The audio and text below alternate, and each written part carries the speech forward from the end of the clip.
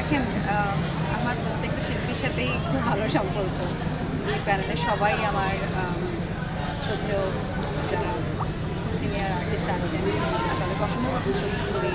আর যারা তো আমরা একসাথে যারা কাজ করি তারাও দুই প্যানেলে আছে। তো এটা আমাদের জন্য দুইটা বাট আমরা চাই যে যেই আসুক যোগ্য প্রার্থী হোক এবং আমাদের ফিল্মের জন্য যেন আসলেই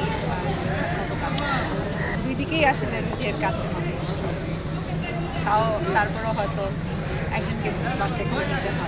আমি প্রায় অনেকদিন পরেই আসলাম এফবিসিতে আসলে নির্বাচনের জন্যই আসা যে একটা ভোট নষ্ট হবে আমি না আসলে।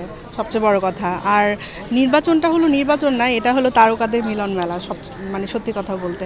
শুধু নির্বাচনেই সবার সাথে সবার কথা হয়, দেখা হয়।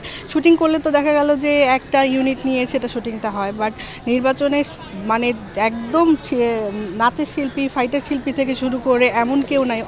ইভেন আমাদের এইটিজের নাইনটিজের যে ইয়েরা আছে, তারকারা আছে, তারাও চলে আসে। সো খুবই ভালো লাগে। এখানে এসে খুবই ভালো লাগল। সবার সাথে দেখা হলো। আবার নতুন করে মনে হলো যে এফডিসি প্রাণ ফিরে পেয়েছে। এফডিসিতে এখন সবার নজরটাই হলো এফডিসির দিকে। সোশ্যাল মিডিয়া বলেন ফেসবুক বলেন ইউটিউব বলেন, বিভিন্ন চ্যানেল বলেন। আজকে নির্বাচনকে কেন্দ্র করে যে সবার একটা উৎসাহ, আগ্রহ আছে। তো আগামীতে মনে হয় যে আমাদের কাজের মাধ্যমে, কাজ দিয়ে আমরা সেটা এফডিসিতে দর্শকমুখী করব, ইনশাল্লাহ। সত্যি কথা বলতে কোনো প্যানেলই আমার দুইটা প্যানেলের লোকজনই আমার খুব পছন্দের লোকজন। আমাদের বড় ভাই, বড় আপু, স্যার, যাদের ইন্সপিরেশনে আমরা আর সামনের দিকে আগাচ্ছি। সো আমার কাছে একটাই, আমি অ্যাজ এ একজন, কি বলব?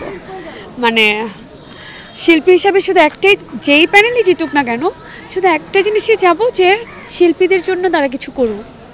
আমরা যারা কাজ করছি যারা কাজ পাচ্ছি না তাদের উন্নয়নের জন্য কিছু করা উচিত। কারণ আমরা সবাই জানি যে এফডিসির অবস্থা কী ফিল্মের অবস্থা কী। শুধু ফিল্মের নায়িকা ছিল মানে হয়ে ঘুরে বেড়ালেই তো হবে না কাজ করতে হবে।